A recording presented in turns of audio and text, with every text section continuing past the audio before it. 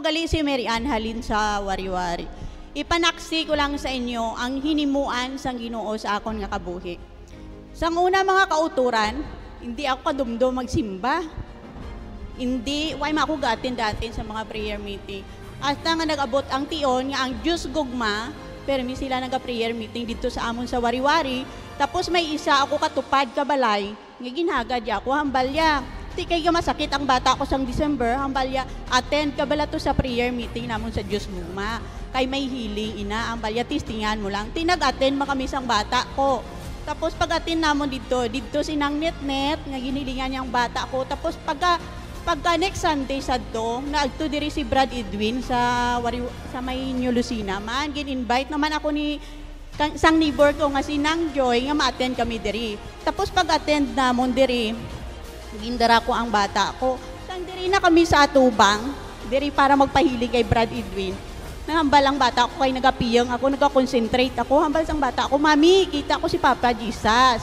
Tapos hambal ko hipos, kay ti syempre gahiling si Brother Edwin di sa tubang.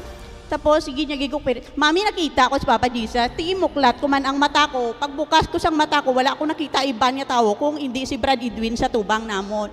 Pero nahilingan ang bata ko. After sang healing, sige-sige na ko attend sa prayer meeting sa Diyos Gugma. Sang una mga kauturan, December na admit ang bata ko kay siguro isa adto sa pagpanghikot sang Ginoo sa akon para ako magbalik kag magkilala sa iya nga siya gid ang aton manluluwas. Tapos ang December na hilanat ang bata ko, abi ko simple lang hilanat.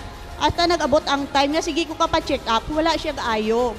Tapos nag-abot ang tion nga na-admit ang bata ko. Pag-admit, dito na mo nabalaan nga damo gali siya sakit. May sakit sa- heart, uh, tricuspid valve regurgitation, tapos may sakit siya sa uh, abdo, may bato ang iya abdo. Tapos abi ko amo lang to, naguwa kami sa hospital after 13 days nakaguwa kami. Sa pagguwa namo, nagbalik kami para follow-up check-up. Tapos naglaboratory, dito nakita nga hindi lang gali amo to ang sakit niya, kundi ang white blood cells niya nagataas pagid.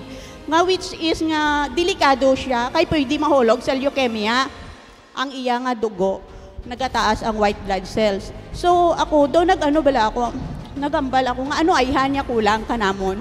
Ngayon sa nga tanan, halos tanan nga sakit, dumadto sa bata ko.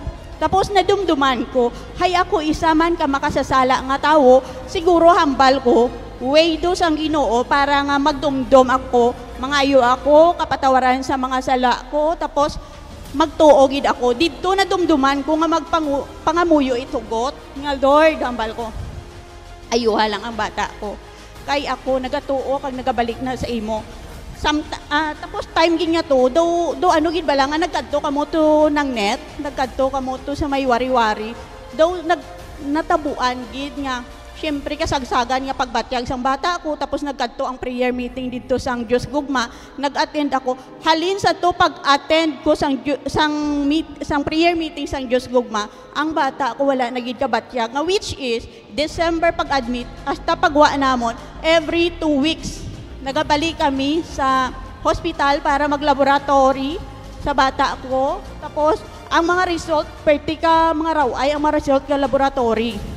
Hasta nga nag-abot ang Diyos gugma, halin pag-abot sang Diyos gugma, waay nagid kabatyag ang bata ako. Hasta subong waay na kami kabalik sa doktor, five months na. Tapos waay nagapasa-pasa ang iya kalawasan. Nga sang una, makita mo na may pasa sa sikiduha, may saguya pagani, may sa kamot, duro nga na. Daw hindi na ako katulog sang time na to kapaminsa kung ano himuon ko sa bata ko, ka-stress ako. Hasta nga grabe pasalamat ko sa Ginoo kay gintandog niya man gino, siguro sa nang net net nga mag-agto didto para nga isaman ko pa, nga mabuligan nila. Kag God is good gid kay tungod sa iya nag-ayo gid ang akon bata. Nagapatig ang nagasalig gid ako nga ang Ginoo buhi.